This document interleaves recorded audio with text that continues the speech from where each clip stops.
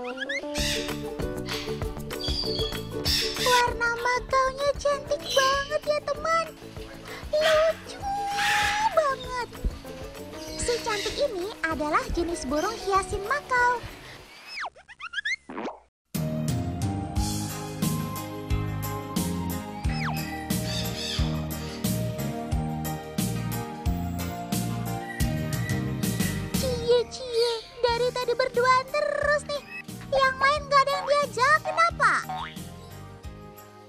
You are my sunshine, my only sunshine. Eh, kamu bisa banget deh. Wah, ternyata benar teman. Mereka sudah jodoh. Pantesan aja dari tadi lengket terus.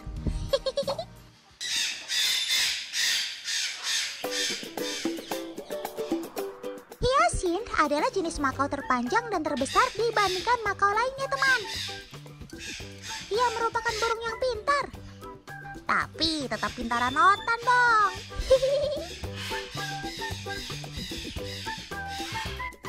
Dia juga jenis makau yang mudah dijinakan. Gak percaya kalau dia nggak galak. Nih Otan kasih bukti.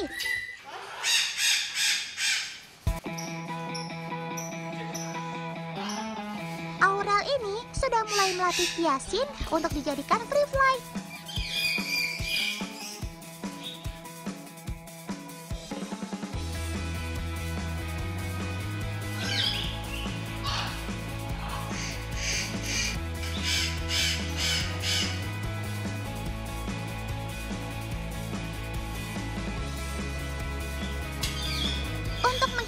Hal yang tidak diinginkan, Aurel tetap didampingi sama orang tuanya.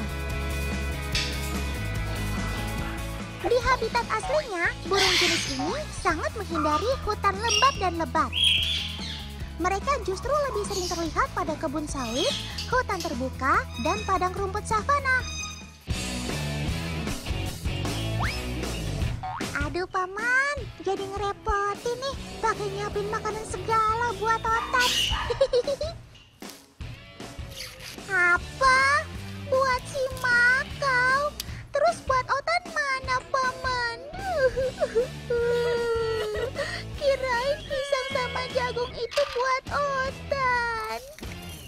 Aduh, otan jadi malu sama teman di rumah. Uh.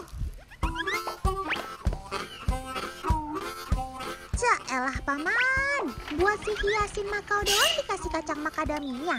Itu kan kacang yang mahal. Teman, di tempat tinggal aslinya, hiasin makau biasa memakan kacang jenis ini. Amerika Latin sana, kacang macadamia memang banyak terdapat di alam.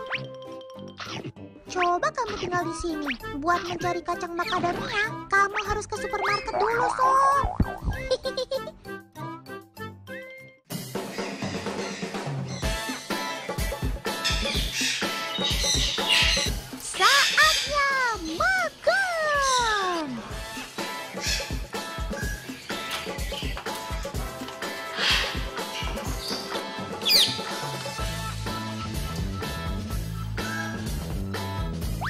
Makan ramu bener nih, yang datang lebih dari se-RT.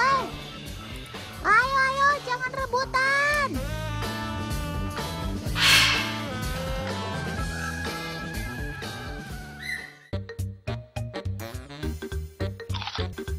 Oh iya teman, ada yang menarik dari si makau ini. Ia mampu mencerna makanan yang beracun. Ini karena burung makau memakan banyak nutrisi tanah dalam jumlah banyak yang membantu dia untuk menetralisir racun tersebut. Kalau urusan yang satu ini, Otan kalah keren sama kamu, Sob.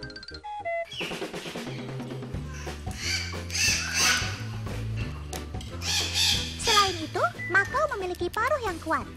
Kekuatan gigitannya mampu mencapai 2000 kg alias 2 ton. Waduh, jangan sekali-kali ribut sama si Makau deh. Kalau udah digigit, badan bisa remuk. Nih teman, sekarang Otan mau kasih tunjuk seperti apa kekuatan paruh si Makau.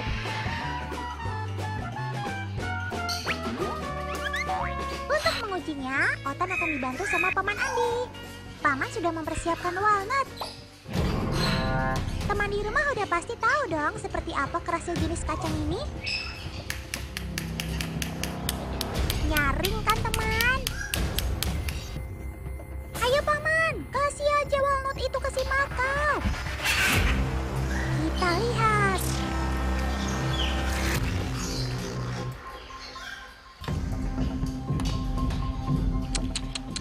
Tanpa kesusahan berarti, Makau dengan mudahnya memecahkan walnut.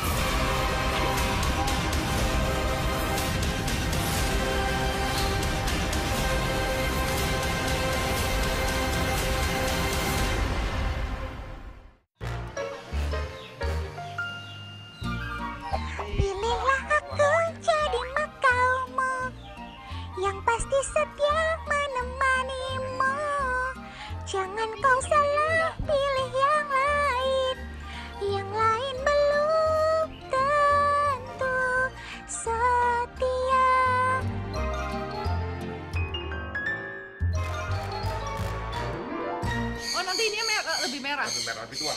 Kalau sama Catalina beda tipis. Depele, depele, Makau cantik, Makau cantik. Nah, Hotan punya tips sedikit nih buat teman-teman di rumah yang mau membeli burung Makau Ke mana aja ini? Yang pertama, bulunya rapi, tidak semrawut atau botak-botak. Yang kedua, nafsu makannya tinggi.